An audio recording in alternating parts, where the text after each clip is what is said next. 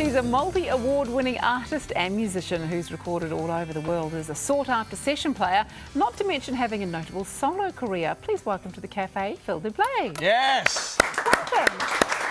Lovely to have you in the studio. Uh, so you've got a, a new album coming out at the end of the month, Yes. Strength, Love, Music and Light. So what's the inspiration behind this? They're all very motivational songs on this one. Um, being the third album coming out, it's I just needed to to uh, the muse and myself to have a nice kind of arrangement where we could write inspirational songs for, you know, dear friends and and uh, hopefully the public gets it.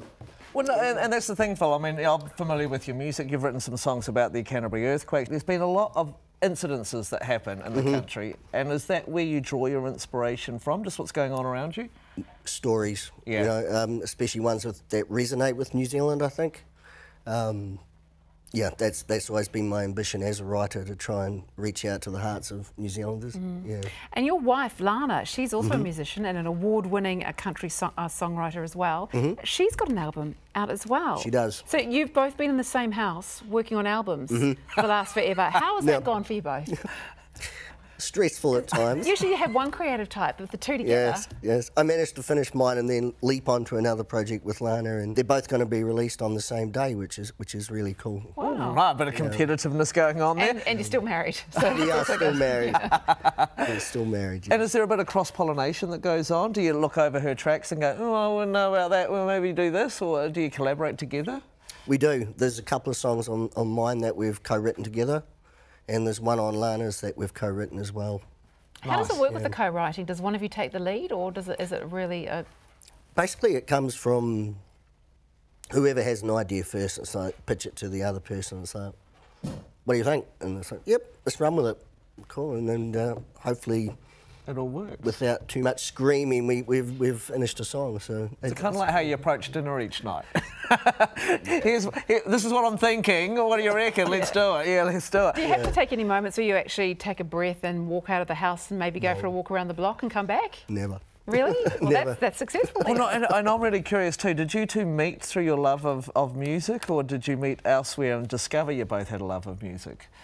Um, well, classic kind of tale. I was playing in a band New Year's Eve, and, and I met Lana then, who, who wasn't into music at all. Um, and then 20 years later, we decided to tie the knot, and Lana discovered that she's has a knack for writing songs, and went went along to win I don't know how many awards with her songwriting, but.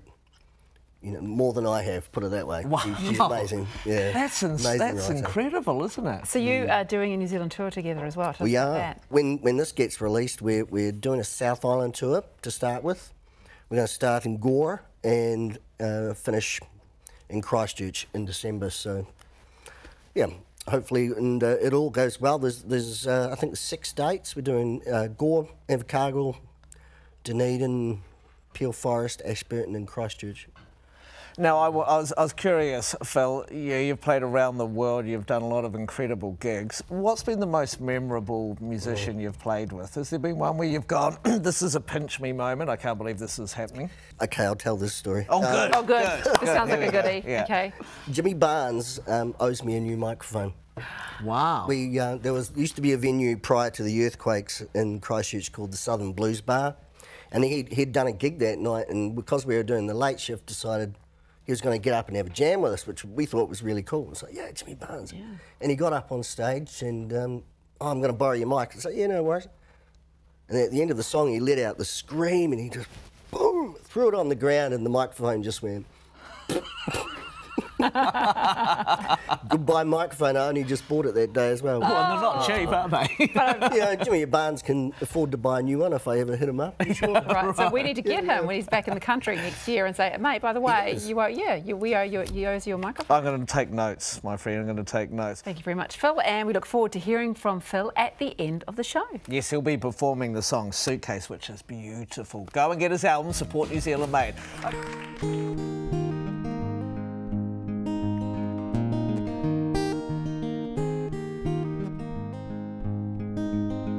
I discovered an old suitcase in a second-hand store, covered in dust and cobwebs, sadly set upon the floor. I Brushed my hand across the leather. I tried to understand its rusted hinges and initials written in a shaky hand. Around its weathered handle was an old tag and a key, and the name of a Kiwi captain dated 1943. It really got me thinking that this is St. Miles. The proof was in the dented shell, it really had some trials. And each sticker told a story where he'd been and what you'd seen. From Asia USA and Italy. Tarnished corners, tattered armor, a broken buckled mystery. Tired, worn out traveler, you're coming home with me.